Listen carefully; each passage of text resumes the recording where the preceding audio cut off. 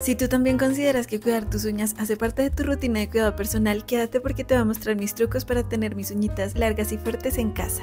Hello, bienvenidos una vez más. ¿Cómo están el día de hoy? Oigan, yo les he mencionado muchas veces en diferentes videos que uno de los pasos para sentirnos más seguras con nosotras mismas, más bonitas, más femeninas, definitivamente es tener las manitos arregladas y sobre todo tener las uñas cuidadas, porque yo sé que a ti también te ha pasado que no les diste tanta relevancia de repente y en muchas ocasiones te hicieron pasar pena. No me mientas porque sé que también has estado en ese lugar. Además, ustedes saben que yo soy fan de hacerme las uñas en casa, de cuidármelas, de que mis uñas naturales estén sanas, bonitas, fuertes y largas, así que aquí les voy a dar todos mis tips, lo que necesitan saber para que lo pongan en práctica y para que también puedan tener sus manitas cuidadas, bonitas, lindas. Además que ustedes saben que todo lo que yo aprendo a hacerme en las uñas para que sea mucho más fácil hacerlo en casa con esmaltes normales y sin que te cueste demasiado dinero, se los enseño por TikTok e Insta, entonces también pueden ir a seguirme por allá, que se los dejo acá. Y para que sepan en todas las redes sociales aparezco como Cami Dust y ahora sí, sin más preámbulos, vamos a empezar. Esto es algo que yo no sé por qué nunca nadie nos lo dijo y es que las uñas almendradas u ovaladas se parten con menos facilidad que cuando te las haces rectas, cuando te dejas las uñas muy anguladas es mucho más fácil que al darte un golpe o al rozar diferentes superficies que sean duras, es más probable que se te partan. Y yo no era tan consciente de esto porque yo hace muchos años me hacía las uñas así súper rectas, siento que era lo que estaba de moda en ese momento y no las tenía muy largas, entonces no me daba cuenta que era más fácil que se partieran, pero desde que empecé a dejarme crecer las uñas, me gustó como darles esta forma ovalada, almendrada, se ven muy bonitas y además tienes la ventaja de que es mucho más difícil que se partan. Entonces, si ustedes quieren empezar en este proceso de dejarse crecer un poquito más sus uñas, de cuidárselas, les recomiendo que se hagan estas formas de acá, más almendradas, ovaladas. No es necesario que las dejes demasiado largas si no te gustan las uñas súper largas, pero también siento, y esto ya es a gusto personal, que esta forma de todas las que existen como que estilizan más la uña. Si tienes un largo que igual sea funcional, me parece que se ven súper bonitas, entonces ese es un tip, no sé si lo sabías, pero en resumen, si no quieres que se te partan tanto, las ovaladas. Ahora, este es un error que muchas de nosotras cometemos, sobre todo si nos hacemos las uñas en casa y no tenemos demasiado conocimiento al respecto, y es que deberías limar tu uña solo en una dirección, en un solo sentido, porque al limarla para ambos lados lo que estás haciendo es dejar como pequeñas aberturas que probablemente haga que después de que te las hayas limado se abra la uña, como que no queda sellada. ¿Me explico? Lo que deberías hacer cada vez que limas tus uñitas es hacerlo en un solo sentido, en una sola dirección, cómo te quede a ti más fácil para que puedan crecer sin que se te formen estas pequeñas líneas o grietas o que se te empiecen a descamar. Yo les he contado este hábito que tengo hace mucho tiempo y siento que funciona demasiado y es que te corras la cutícula cuando te estás duchando porque en este momento la mano está húmeda y la cutícula tiende a ablandarse. Es el momento ideal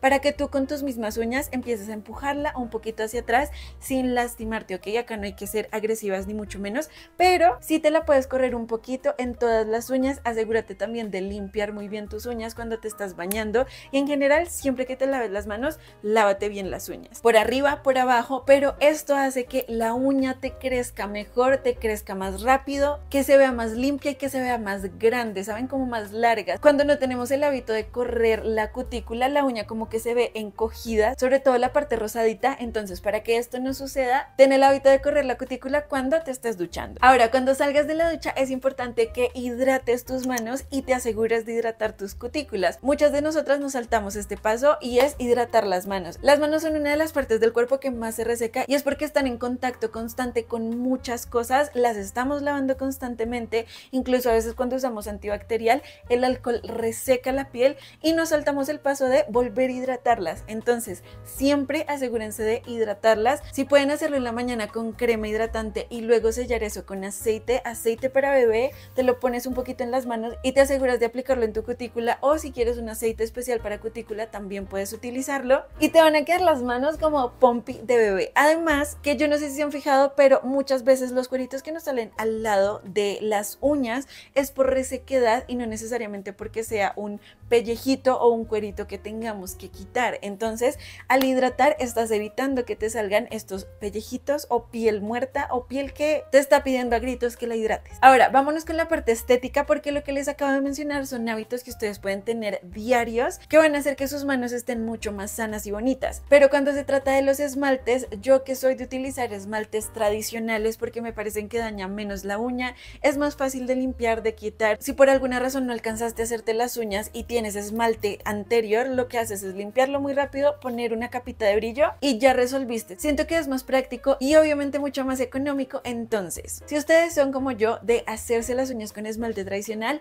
tienen que saber varias cosas. Primero que siempre debes dejar tus esmaltes tapados muy bien, no los dejes abiertos porque se van a empezar a espesar. Si te pasa esto de que ya tienes un esmalte que está muy viejito y sientes que cuando te lo aplicas está demasiado espeso, existe un producto maravilloso y mágico que deberías tener en casa y es el dilusor. Esto lo venden en todas las tiendas de estética, incluso en el supermercado también, y el dilusor te va a ayudar a que el esmalte deje de estar espeso. Entonces, esto no se lo aplicas a todos tus esmaltes, sino a esos esmaltes que ya están más viejitos, que de repente como que se demoran mucho tiempo en secar y que cuando los sacas la brocha te aplica demasiado producto. Créeme, me vas a agradecer el tener dilusor en casa. No tienes que aplicar demasiado con un par de gotitas con un gotero, es suficiente. Debes mezclarlo muy bien para que entre en todo el producto y luego miras si es necesario aplicar un poquito más. Otro tip que va a salvar tus esmaltes es limpiarle las boquillas. Normalmente lo que hacemos todas es cuando estamos aplicando el esmalte quitamos el exceso en la boquilla, pero no limpiamos eso y con el paso del tiempo eso también hace que el esmalte se espese porque no queda bien cerrado y empieza a entrar aire en el esmalte. ¿Qué vas a hacer tú? Muy fácil, con tu quita esmalte y un algodoncito vas a limpiar todas las boquillas y asegurarte de que el esmalte cierre bien. Eso es todo. Ahora, siempre, ¿ok? Siempre que vayas a utilizar esmalte es necesario que protejas tu uña primero con la base para esmaltes, luego apliques el color y luego apliques el top coat, el brillo, el finalizador, como sea que lo conozcas, ¿ok? Porque esto va a hacer que te dure más el esmalte. Si solo aplicas el color sin primero preparar la uña y sin después fijarla, probablemente ese esmalte solo te dure tres días aplicado en la uña y como no queremos esto, además que les doy fiel certeza de que cuando te aplicas bien los esmaltes y los cuidas, te puede durar más de una semana fácilmente. No te saltes esos pasos. Ahora, cuando estamos hablando de aplicar el color en la uña, tienes que saber que es necesario que apliques capas delgadas. Muchas veces siento que nos aplicamos el esmalte de afán o rápido por salir del paso y aplicamos capas muy gruesas y luego esa capa jamás se seca. Y es algo que me comentan mucho cuando les hablo de truquitos de uñas. En mis comentarios siempre aparece él, ¿cómo haces para que se seque el esmalte normal. Oigan, el esmalte normal no debería tardar más de 5 minutos en secar entre capa y capa. Y estoy siendo exagerada, en verdad, si tu esmalte se está demorando mucho en secar, probablemente es porque esté más espeso de lo que debería y te estás aplicando una capa muy gruesa. Entonces, procuren aplicarse capas delgadas y dejar secar entre capa y capa. Oigan, si no, no hay manera de que ese esmalte quede bien aplicado. Vas a aplicar tu base en la uña y por lo general esto se demora alrededor de 2 minutos como mucho en secarse y luego ya vas a aplicar tu primera capa de color, la dejas secar 4 o 5 minutos, aplicas la segunda capa y si es necesario una tercera capa como mucho. Pero yo lo que trato de hacer siempre es que con dos capas las uñas ya queden completamente listas. Vas a dejar secar esto otra vez alrededor de 5 minutos, aplicas tu brillo y dejas secar. No te vas a poner a lavar la losa, a cambiarte de ropa, a peinarte justo con las uñas recién pintadas porque si no, evidentemente el esmalte no va a tener el tiempo suficiente para fijarse en la uña. Por esto yo siempre les he dicho que cuando se vayan a hacer las uñas traten de tener el tiempo sin mucho afán ni estrés de que tengan que terminar demasiado rápido para darle el tiempo de secado necesario. Oigan y por último hay muchas herramientas que nos salvan y nos sacan de apuros cuando nosotros somos de hacernos las uñas en casa y con esmaltes tradicionales como para darnos un toque, ¿saben? Un plus. Entonces, además del cortacutícula o lo que normalmente tenemos, yo les aconsejo que tengan este sellito de silicona que es perfecto para hacerte el francés en dos minutos, de verdad que es muy fácil.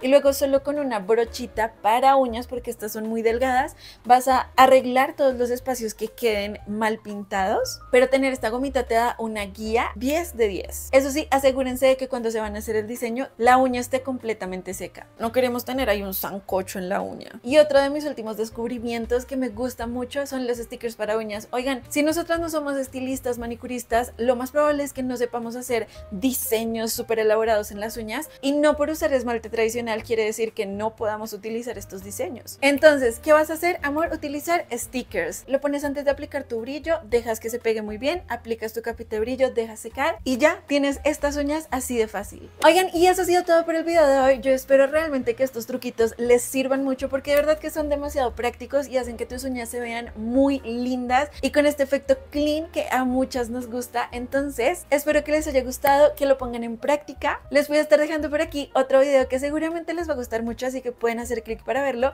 Y si no están suscritas o suscritos, los invito a hacerlo haciendo clic por acá, ¿ok?